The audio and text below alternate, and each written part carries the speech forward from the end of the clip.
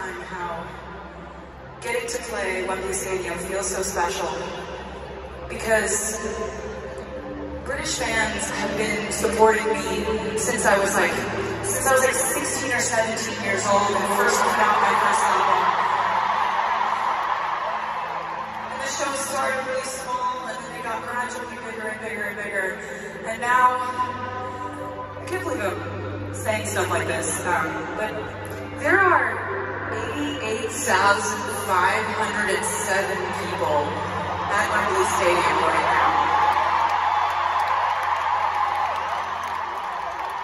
I mean, that's, that's the kind of support that I, I, I'll never be able to thank you enough for. Um, I also know here at the show tonight, I have a feeling we also have people who came in from out of town. Am I right about that?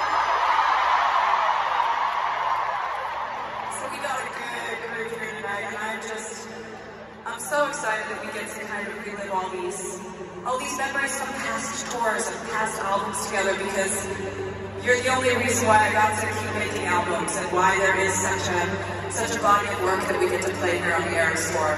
And there is one more song from the Red album that I was wanting to play. If you happen to have about 10 minutes to spare,